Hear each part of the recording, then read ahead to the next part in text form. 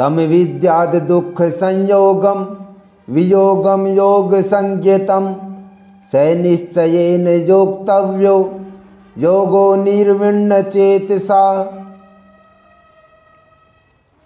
जो दुख रूप संसार के संयोग से रहित है, तथा जिसका नाम योग है, उसको जानना चाहिए। वह योग न उकताए हुए अर्थात धैर्य और उत्साह युक्त चित्त से निश्चय पूर्वक करना कर्तव्य है।